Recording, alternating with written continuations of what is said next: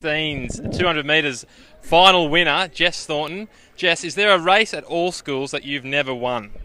No, no, I haven't. So the, the record's still intact, and uh, so you're going for an astonishing quadruple triple, I believe, if you can get the one and the four tomorrow. How are you feeling about those?